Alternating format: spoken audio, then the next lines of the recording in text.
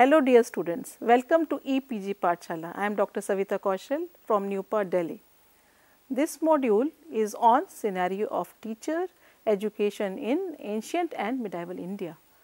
Objectives of this module are introduction to historical development of teacher education in India, teaching methods adopted in Vedic, Buddhist and medieval period, role of teacher in Vedic, Buddhist and medieval period.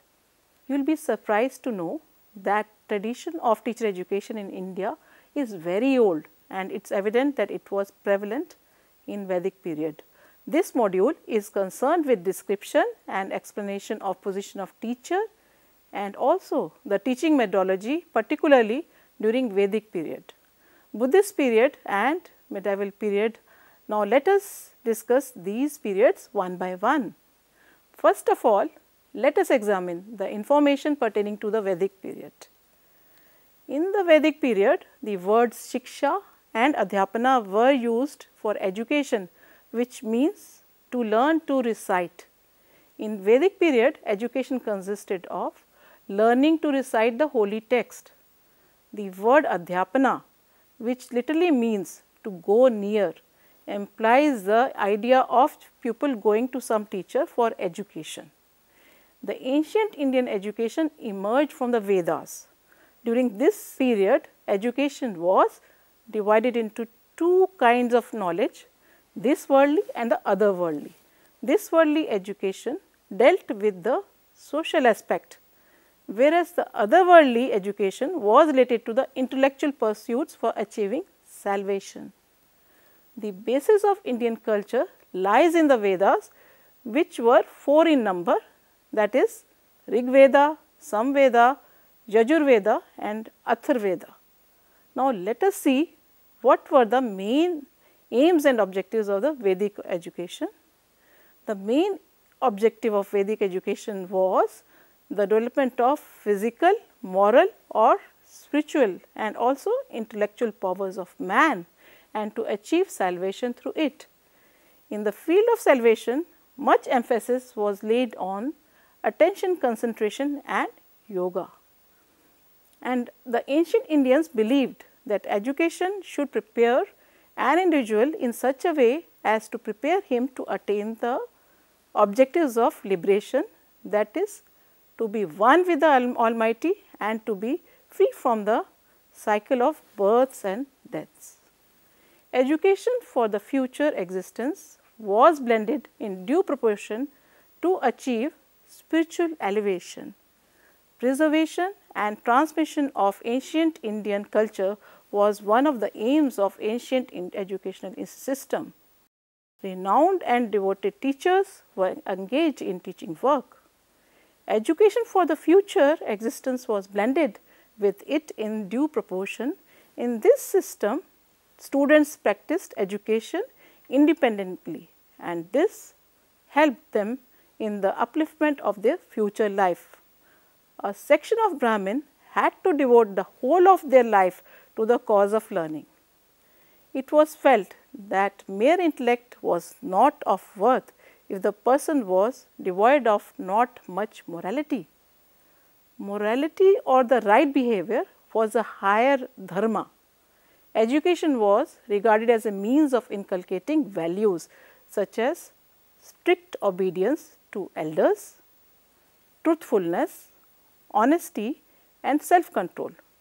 Gurukula were established with the aim of character formation. Ample opportunities were provided to the pupils for the multi-dimensional development of their personality. They had their own methods of work in order to achieve it. Ancient Indians believed that personality should be developed through education. Personality was developed through the following methods.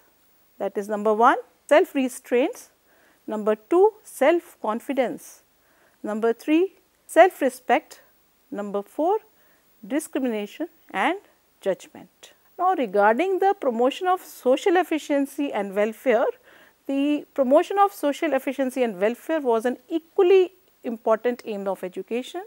Society had accepted the theory of division of work which was later on governed by the principle of heredity.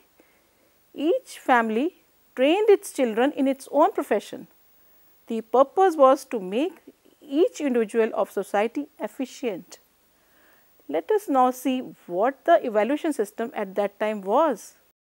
There seems to be no direct reference available to spell out the methodology followed by the Acharya to judge the adequacy of knowledge of his pupils.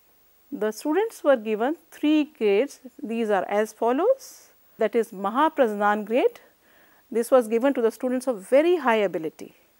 Then Madhma Prajnan grade, now this was given to students of high ability and the third one was Alpa Prajnan grade, now this was given to the students of low ability. Regarding the education of women, it is very interesting to know that uh, the Vedas gave a very honorable and respectable status to women. They were eligible for higher education, for the study of Vedas and the performance of administrative and other important jobs mostly performed by men even today.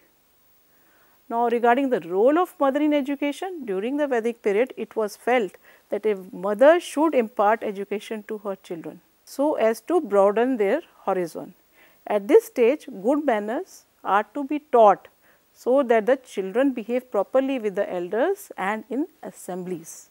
Now, regarding the autonomy of educational institutions, let us see what was the implication at that time. Teachers in the Vedic period were autonomous in their work and they followed various methods of admission and also assessment. A teacher was the sole pedagogic authority to decide whether the student was fit for admission and also to decide whether he had completed his studies. Now, regarding the studentship, there is a long hymn in the Atharva Veda describing the ceremony pertaining to studentship. The initiation ceremony was called Upanayana, which lasted 3 days. It was quite long. It laid down the foundation of planned life. The pupil owed his first birth that is physical to his parents and the second birth that is spiritual to his teacher. The rite of Upanayana was meant to purify body and mind and to make one fit for receiving education. After Upanayana, the pupil entered into a state that is that state is called Brahmacharya. State of Brahmacharya indicated that it was a mode of life and it was a system of education. Now, regarding the free education in ancient India, teaching was considered to be a holy duty which a Brahman was bound to discharge. Irrespective of the consideration of the fee, teachers were expected to devote their lives to the cause of teaching in the missionary spirit of self-sacrifice and the society laid down the principle that both the public and the state should help the learned teachers and educational institutions very liberally. Society realized that Vidyadana or the gift in the cause of education was to be the best of gifts, possessing a higher religious merit than even the gift of land. On the occasion of religious feats, students and teachers were invited and donations were given liberally. There was no state control on education at that time. Rulers of the country had very little directly to do with the education. It was a private affair of the people managed entirely by the Brahmins. So, it is quite interesting to know that it was entirely managed by the caste that is Brahmins. High status of the teacher, there was uh, the teachers were highly honored class and honored by even by the kings. Kings rose from thrones to receive great teachers. And uh, regarding the role of teachers as parents, the teachers behaved as parents to their pupils and pupils behaved as members of the teacher's family. The attitude of the pupil was to be one of complete submission. As the pupils were residing in the house of the gurus, they were begging alms for their own subsistence and also for their guru that is a preceptor. This practice of begging alms by the pupils was to inculcate in them the noble sentiment of humanitarian virtues. The motive behind this system was to sublimate ego in the pupils which enabled them to face the realities of the life and helped in social integration. There were residential schools at that time, so teachers and pupils lived together so that uh, they, they identified themselves with one another. The pupils resided in the teacher's house and this helped them to develop social contacts.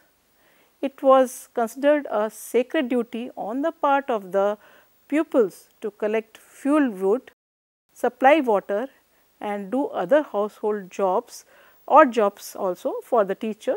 In this way, the pupils were receiving instructions relating to domestic life and also learning the concrete lesson of the dignity of labor and also social service. Besides the pupil of ancient India were receiving valuable training in the occupations of animal husbandry, agriculture, dairy farming by grazing the cows of the Guru and serving him in various ways. So, regarding the immediate aim, the immediate aim of education however was to prepare the different caste of people for their actual needs of life. In this system of education, emphasis was given not only on book learning and providing basic knowledge, but on application of knowledge to everyday life. So, the scope of education was very comprehensive and wide. For the development of vocational efficiency, healthy, positive attitude and dignity of labor were fostered in pupils since the very beginning of their study. They were trained to earn their living according to their own abilities and powers. Regarding the curriculum, the subjects of instruction varied according to the vocational needs of the different castes from the Vedas and Vedangas in case of Brahmins to the art of warfare in case of Kshatriyas and to agriculture and trade, art and crafts in case of Vaishyas. Regarding the methods of instruction in Vedic education, let us see what it was. The method of instruction generally consisted of recitation by the teachers and repetition by the pupils, followed by explanation by the teacher, questioning by the pupil and discussion between the teacher and the pupil. Debates, discussions, storytelling was also adopted according to the need. Teachers at that time they were regarded as spiritual as well as intellectual guide and teacher also occupied a pivotal position in Vedic system of education. The teacher was a facilitator of learning and above all a religious and a spiritual guide. Teacher was a spiritual father of his pupil. In addition to imparting intellectual knowledge to them, he was also morally responsible. He was always to keep a guard over the conduct of his pupils. During the Vedic period, learning was transmitted orally from one generation to another. Great importance was attached to the proper accent and also to the pronunciation in the Vedic recitation and these could be correctly learnt only from a properly qualified teacher. The spiritual solution depended almost entirely upon the proper guidance of a competent teacher. Now, let us examine what were the processes of instruction at that time. There were three steps in instruction at that time that is Sravana. Sravana meant listening to the word text as they were uttered by the teacher. Then second one was Manana that is the process of deliberation or reflection of the topic taught. And the third one was Nidhyasana that represents the highest stage and it is higher than the manana. Regarding the role of travel in education, it was felt at that time that travel was necessary for education and it was uh, given lot of importance and uh, regarding Sanskrit as a medium of instruction as these education institutions were managed and organized by the Brahmins and all the books were written in Sanskrit therefore, the medium of instruction was Sanskrit. And regarding the self control and discipline, it was given a lot of importance. Self discipline was considered to be the best form of discipline. However, corporal punishment was not altogether ruled out. You will be surprised to know that there was a widespread education of women at that time. In the earlier Vedic period, girls were free to go through the Upanayana ceremony which we already mentioned previously in our text and live in a life of celibacy. They also studied the Vedas, Vedangas and other subjects along with their brother pupils. Regarding the duration of education, it was in the house of teacher the students were required to obtain education up to the age of 24 years, after which he or she was expected to enter domestic life. Students were divided into three categories. Number 1, those obtaining education up to the age of 24 years that is Vasu, those obtaining education up to the age of 36 years Rudra those obtaining education up to the age of 48 years that is Aditya. Now regarding the forms of education in Vedic period, there were three types of institutions. Number 1 Gurukulas, number 2 Parishads and number 3 Sammelan. Regarding the teacher education in Vedic period that is Rig Vedic specifically and even in the Sutra age there were no formal teacher training colleges. A teacher was successful and excellent student one who was already first taught by his own master. He further increased his knowledge and later on acknowledged by the learned society to become a teacher. So, basically it was a role of the society, learned society which identified a person to become a teacher. In the Up, Sutra, it is uh, reported that there were persons teaching each other different redactions of Vedas this was a way in which teacher increased their knowledge. The Baudhayana uh, Griha Sutra also informs that one of the hopes expressed at the convocation or samvartana was that the graduates may have the good luck of attracting students from all quarters. No formal training was considered necessary for the teaching profession. A number of times during the course, the students got opportunity to go through the learned debates which were also known as Shastrartha and which would later also develop fame of scholarship as a teacher. By the epic age, the hermitages and the learned gatherings at the time of sacrifices also became a source of teacher education. So, these were varied kind of sources of teacher education that is Shastrartha and also learned gathering at the time of uh, sacrifices. The hermitages have also been reported in Mahabharata. There were also concourses of learned men at the courts of the king during gatherings for important sacrifices. Those who took part in such meetings were teachers. The teachers as a result received valuable knowledge and learning and they included them in their syllabus while teaching students. These means of teacher education continued till the Buddhist period. Now, let us examine teacher education in Buddhist period. During the Buddhist period, monasteries were the centers of education. Besides monasteries, there was no other organization for imparting education. Only the Buddhists could receive religious and the other type of education at that time. Other persons were deprived of this facility. There was no place for yajna.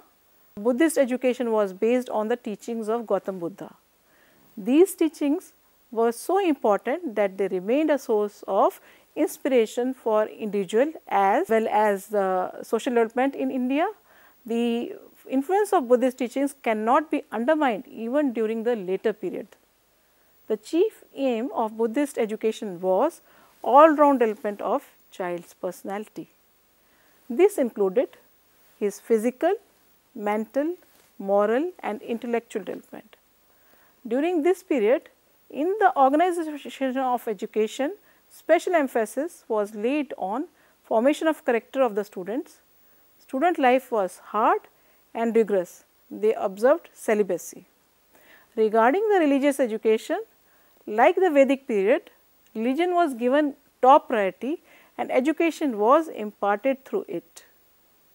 Regarding the preparation for life, in this system of education, there was a provision for imparting worldly and practical knowledge along with the religious education so that when the students enter normal life they may be able to earn their livelihood. Pabja was an accepted ceremony of the Buddhist monasteries. Pabja means going out. According to this ceremony, the students after being admitted to a monastery had to renounce all his worldly and family relationships. an individual belonging to any caste could be admitted to monastery and after being admitted he did not belong to any caste. For Pabja ceremony the individual had to get his head fully shaved and put on yellow cloths. In this shape he was presented before the presiding bhikshu. On presentation this individual would pray for admission to the monastery. The aspirant for admission used to pronounce these advices very distinctly. Then his admission was permitted. On being admitted, the individual was called Sharman. Uh, after Pabja, the Buddhist monk had to undergo the Upasampada ceremony. This ceremony was different from Pabja ceremony. It was after receiving education for 12 years that it is at the age of 20 years. So, Upasampada ceremony was performed and regarding the responsibility of teacher, both the teacher and the students were responsible to the monastery or the Buddhist order. But regarding education, clothes, food and residence of the student, monk, the teacher was wholly responsible. The teacher was also responsible for any treatment of the student wherever he fell ill. The teacher used to bestow all affection to his student and used to educate him through lecture and question answer method. Now, regarding the curriculum, the curriculum was chiefly spiritual in nature. It was because the chief aim of education was to attain salvation. So, the study of the religious books was most important. This type of curriculum was meant only for the monks. Besides these, spinning, weaving, printing of the cloths, tailoring, sketching, accountancy, medicines, surgery and coinage were the other subjects of Buddhist education. So, you must be amazed to listen so many subjects were there at that time. Regarding the methods of teaching, Buddhist education aimed at purity of character. Like Vedic education, it was training for moral character rather than the psychological development of the students. One has to attain the stage of bodhisattva and mental and moral development was emphasized at that time. Though the art of writing had been developed at that time up to the Buddhist period, yet due to shortage and non-availability of writing materials, verbal education was prevalent as it was in the Vedic age. The teacher used to give lessons to the novices who learned them by heart. The teacher used to put questions on learning the lesson by heart. It, there was lot of emphasis on discussion at that time in order to win discussion on Shastrartha and impress the general public. It was necessary to improve the power of discussion. This was also needed to satisfy the critics and opposing groups and establish one's own cult. These rules were framed for discussion. Regarding the prominence of logic, there was lot of importance for discussion, encouraged the, this encouraged the logic in the Buddhist period. The controversial matters could not be decided without logical argument. Logic was also useful in the development of mental power and also knowledge. You will be surprised to know that due to importance given to conferences and tours at that time, these were the chief methods. Another important method was meditation in solitude that was also quite important. Regarding the women's education, women education during the Buddhist period was at its lowest at the as the women folk were despised in the sense that Lord Buddha had regarded them as a source of all evils. So, he had advised during his period, he regarded them as uh, the source of evil. So, he, he had advised during his lifetime not to admit women in monasteries. But after some time due to the insistence of his dear pupil, his name was Anand, Buddha had to admit uh, about 500 women along with his stepmother for admission in vihars with many restrictions and also reservations. Regarding vocational education, vocational education was not ignored during the Buddhist system of education. The monks of Vihar were taught spinning, weaving and sewing in order that they meet their clothing requirement. They were taught architecture as well. Education in architecture enabled them to build up new vihars or repair the old ones. Similarly, the householders following Buddhism but living outside vihars were given training in different type of and also earn their livelihood. Regarding the role of teachers in Buddhist education system, let us see what it was. Bhikshus were the teachers at the Buddhist vihars and also at the monasteries. They have their own methods of imitation and also training for the apprentices. The preceptor was given a disciple and all possible intellectual and spiritual help and guidance was given by the preceptor to the disciple. There was mutual esteem between the teacher and the pupil. Their relations were like father and son. The teacher was regarded as spiritual father or intellectual father of the student. During the Buddhist period, the place of teacher in the scheme of education was very important. Students in Buddhist education system, let us see what was their situation. The Buddhist system like the Brahminical enjoined upon the pupil the duty of serving the teacher as a part of education. There were also rules for the expulsion of pupil by his teacher. In the five cases of Siddhi Viharika ought to be turned away when he does not feel affection for his Upadhyaya nor great inclination towards him, nor much shame, nor great reverence, nor great devotion. So, these were the uh, rules that were being followed at that time. Now, let us examine the teacher education in medieval period. Uh, during the, the period under review in this uh, text, it covers the system of education in India from about 10th century AD to middle of 18th century that is uh, before the British rule Development of the teacher education during the medieval period can be divided into two broad categories that is the Hindu education system and education system during the Muslim period. Aims and objectives of the education at that time were that is development of uh, love for Muslim culture and uh, religion, enabling the individual for Islamic life and preparing the students for the next world, equipping the students for evocation, preparing individuals for running the administration. Will be surprised to know at that time education got the patronage of the rulers. The rulers helped in the spread of education. They built educational institutions and also universities. They endowed them with the funds. Big landlords also provided financial help for the spread of education. The rulers patronized the men of learning. One important uh, point to note was that there was no state control on education at that time the rulers neither claimed any authority over the educational institutions nor interfered with their management. Now, regarding the features, let us see what they were. The education was religion uh, dominated at that time. The pupils acquired knowledge as a religious obligation. By and large, education institutions flourished in the countryside. Regarding the provision of various disciplines, Though education was primarily religion oriented, it included the study of many intellectual activities like mathematics, astronomy, then also grammar, polity and politics. Art and literature were also encouraged. Regarding the norms of conduct, adequate stress was laid on well defined norms of behavior, pattern of thought, building up of personality and character of the pupils. In the Muslim period that the teacher pupil relationship uh, when we examine it, teachers were respected as during the Brahmanic or the Buddhist period. There was intimate relationship between the teacher and the pupil although the practice of living with the teacher was not common during the Islamic period. Teachers took to teaching for love of learning and they were quite learned and they were held in high esteem. Regarding the methods of uh, teaching, we see that there were a lot of individualized instructions since the number of students with the teacher was limited, he paid individual attention to each student.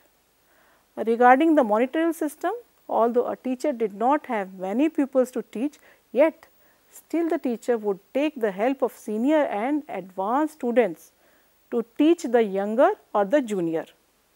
Regarding the discipline, that is the punishments were quite severe at that time. Truants and delinquents were caned on their palms and slapped on their faces. A strange mode of punishment was to make the children hold their ears by taking their hands from under their thighs while sitting on their tiptoes. Regarding the forms of education, we could see that there were different types of uh, institutions at that time. That is, primary education was imparted in maktabs and secondary and higher education in madrasas. Vocational education was also imparted that is the provision was also made for vocational, technical and also professional education. The madrasas uh, imparted secondary and higher education often these madrasas were attached to mosques. Literature, logic, history, geography, astronomy, astrology, arithmetic, agriculture and medicine were the subjects taught in madrasa. Some madrasa had hostels attached to them which provided free boarding and also lodging. Regarding the Hindu system of education, let us see what was it. Uh, basically, the system of education was by and large at that time dominated by religion. You must have heard about the word Pathshala that is elementary education was imparted in Pathshala at that time uh, which existed both in villages and also in the towns. So, to conclude we can say that the teachers were adopting a variety of methods of teaching and they were teaching were adopting variety of teaching methods right from Vedic period to the medieval period. During these periods the social status of teachers was quite high and they were looked upon by respect. We hope that you enjoyed this module. Thank you.